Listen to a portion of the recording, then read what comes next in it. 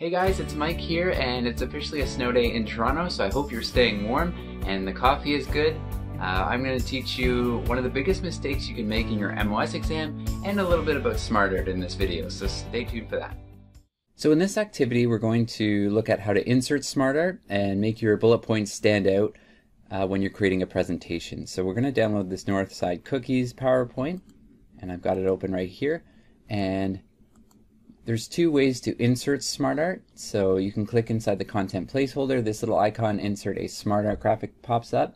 Or you can go to the Insert tab if you prefer. So the Insert tab and then go to the Illustrations group and click SmartArt.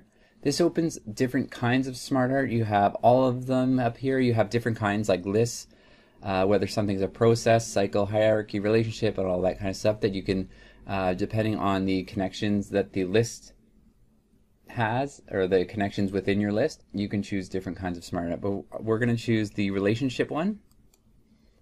And we are looking for the funnel one. So we have to look for one that looks like a funnel. That looks like a funnel there. So we're going to choose this one. Okay, and there's all kinds. So yeah, we're going to pick choose funnel. And then we're going to press OK. Now I would suggest to you, once you click on this, there's a little arrow right here. Instead of like clicking on the shapes, which can get a little confusing, especially with this kind of design, um, just click on the left arrow here, and this pulls up like bullet points. So just type in the bullet points as they show uh, down here. Okay, so now that I've got that typed in, so I just type them in just like I would uh, bullet points in a content uh, placeholder on the left side. And what's great about this, if I want to add a shape, so if you're told to add a shape within the insert um, SmartArt diagram for your test, you could always just, you just press enter and that adds a new shape. But for this diagram, it doesn't like us to add more than four items. Um, and then that's it. So I'm going to close this down and now my shapes are added. And now there's a few things you can add to your SmartArt diagram if you want to make it stand out a little bit more, which is add some style to it. You can also, if you change your mind, you can hover your mouse over um, different kinds of layouts if you take a different approach later on, or you just want to experiment and see which one would look best. But there's also styles here, which is um, which is great. So one of the most common styles is the polish one on the left side. It just kind of makes it look a little bit more 3D. Um, I know inset is also popular, so but we're going to choose uh, the polished type. Okay, and that's it for activity one. That's how we insert SmartArt versus converting it, which we'll do in the next activity. Okay, so now we're going to talk about converting an already existing list to SmartArt. And this is pretty much my reaction when students get this confused on their tests, uh, inserting versus converting SmartArt. All right, so we'll open up the Jerry's Aquatics SmartArt. I've got it right here. And says in the second step to go to slide three and click on the Convert SmartArt button. So we already have an existing list here, and we're going to convert it. So please don't make the mistake of going to Insert, and then SmartArt, and then inserting a SmartArt on top of this. That's not what we're doing here, so that's a big mistake that we can do um, on our test and then it takes us a long time to figure out how to fix it. Instead, we're going to turn this already existing list into SmartArt. So we're going to convert SmartArt. Okay, so we're converting. Converting means it's already existing list and we're just going to make it look nicer with some art. So uh, we're going to click on make sure you've got the whole box selected for this uh, for these bullet points. And then in the Home tab, we're going to click Convert to SmartArt. Okay, and then we're going to choose the one we want.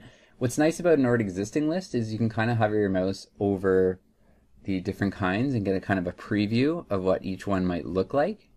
So that's kind of nice. So you, if you're not sure which one to use, you can kind of experiment. So now we're going to convert the SmartArt button, choose the hierarchy list layout. Okay, so you can go to more SmartArt as well. It's funny, I designed this activity, I know which one. Hierarchy list, yes. So it's in the list group. I got uh, confused because it's it was I thought it was hierarchy, but it's hierarchy list. This is the one here. And this is something you should probably know for your MOS exam. You might want to just kind of go through all of the different types of layouts so that if you're asked one, just like um, I got stuck on this one because they pulled up some random design, like some kind of matrix one that I wasn't aware of, but I eventually found it. it just took a lot of time. And during an exam, when your the clock is ticking down, uh, you don't want to be stuck uh, trying to find a type of SmartArt. So make sure you kind of go through and uh, and get to know some of these ones. And then sometimes uh, the name gives it away, like list. So you look in the list group here. So hierarchy list, that's what we're going to convert this to. And there's our hierarchy list with these uh, principles at the top, and then there's a bit of a hierarchy there. And then we're going to add, so whenever you click on your diagram, make sure you click on the outside, because sometimes I've seen people just click on one shape, and that's not what we want to do. We want to change the whole SmartArt graphic or add a style to it. So make sure you click on the outside of your diagram whenever you're changing a style, or maybe even increasing um, the width or height or something like that. So polished again is in the styles group. Uh, makes it look nice and looks like somebody just cleaned it or something. So that's the polished style. Uh, change the direction of the SmartArt from left to right. Yeah, so you might have to change the direction as well. Maybe uh, one of these principles needs to, or maybe pricing should be the number one because people care about money. So we go uh, right to left. We're going to switch. And then pricing uh, switches from the very right to the left. So we just kind of like rotated the principles there. And that's what you can do from right to left in this um, SmartArt Tools Design tab. So that is it. Thank you so much for watching, and I hope that uh, helps you understand the difference between inserting a SmartArt graphic versus uh, converting one. And I hope it showed you how to make your bullet points stand out by using SmartArt in PowerPoint. Thanks for watching.